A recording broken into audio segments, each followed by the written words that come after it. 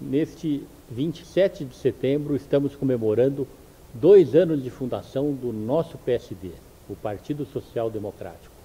Nesse momento, quero mais uma vez vir a público agradecer a todos os companheiros, todas as companheiras de todo o Brasil que contribuíram para que adquiríssemos a dimensão que temos hoje.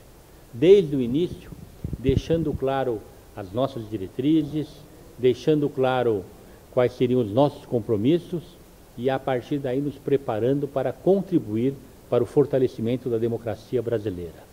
Nos preparamos, participamos das primeiras eleições, as eleições municipais de 2012, tivemos um resultado extraordinário.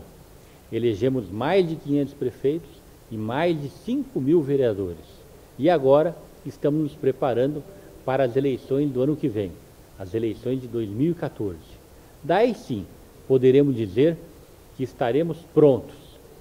Todo o nosso processo de fundação, de criação, encerrado para, a partir de 1 de janeiro de 2015, com os nossos prefeitos, vereadores, vice-prefeitos, deputados, senadores, governadores, todos eleitos pela legenda PSD, prontos para lutar por um Brasil melhor, para um Brasil que tem identidade com tudo aquilo que entendemos que seja o melhor para o Brasil em termos de políticas públicas.